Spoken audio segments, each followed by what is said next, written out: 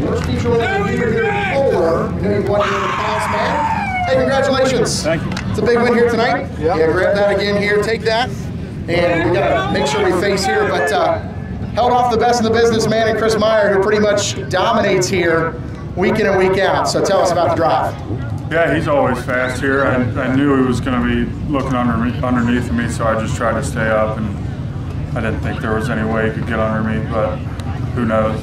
Fun race. Let me let me go ahead and ask you real quick. You know, again, just like previous features here tonight, you probably didn't get to see them, but lap traffic again coming into play a little bit. Some slower cars. Yeah. You got to think quick and react quick on going high or going low. Yeah, I was glad to see those cautions come out because we were catching those lap cars so fast, but they were doing a good job of staying out of the way, so that's good.